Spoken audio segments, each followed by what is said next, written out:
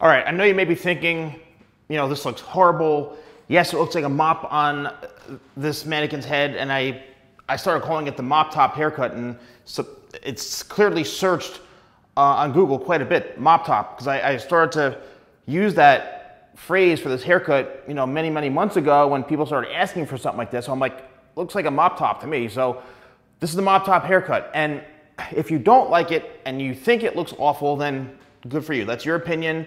We all have opinions. Some people think my hair looks ridiculous. Some people think, you know, a mohawk looks ridiculous.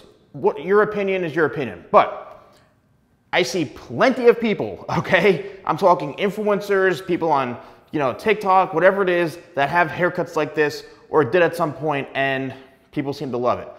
So basically, the key to this haircut is establishing a perimeter, right, or establishing the length. So for this particular haircut, you can see, and this is fully dry, this is a straight haired mannequin. I was able to create the waves in it, which I'll go over in a second, basically by layering the hair and using my tidal wave and the diffuser when I'm styling it.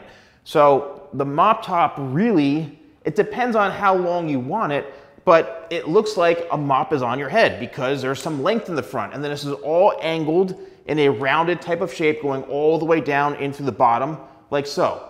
So it's very, very rounded, a little bit longer throughout the back here, but basically it's, it's all connected going in this way, all right? It could be a little shorter here, maybe slightly disconnected if you want it like a more of a harsh cutoff, but the, the haircut is cut in a rounded type of shape an angle like that. I would suggest going straight across this way and then start the angling right around the cheekbone area. So once you have that established, then what you need to do is if your hair is very long, you're gonna have a whole bunch of hair down through here. You need to start layering this, okay? And the way you do this is you start pulling it out straight from the head and cutting it out to the desired length that you want.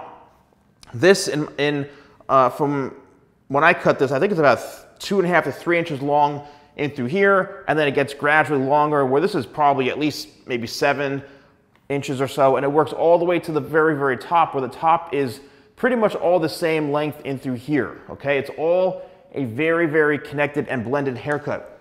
And then what's the key to this, like I mentioned before, it looks like, oh, the hair's wavy. It's not wavy, it's perfectly straight, but by cutting the layers in the hair, which I've done hundreds of videos on cutting layers, literally it's holding everything straight up like this and created a, creating a shape where all of the weight is removed so that it follows the roundness of the head. And you can see this piece right here, you see where it's falling.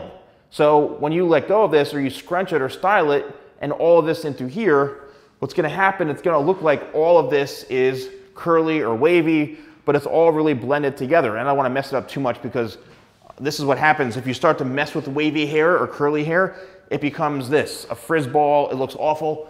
So the key to this also, like I mentioned before, is using my Tidal Wave spray, which is my sea salt spray. You spray it on while the hair is damp. And then the key is when you're using my blow dryer, it comes with, it literally comes with a regular nozzle and this diffuser. It's a magnetic attachment. What you want to do is you literally scrunch it into place while the hair is damp with the tidal wave in it, even 25 spray, scrunch it while it's damp so you can set it in place. Then with the blow dryer here, with it has you have to use this diffuser, okay? Or else it's gonna blow the hair all over the place.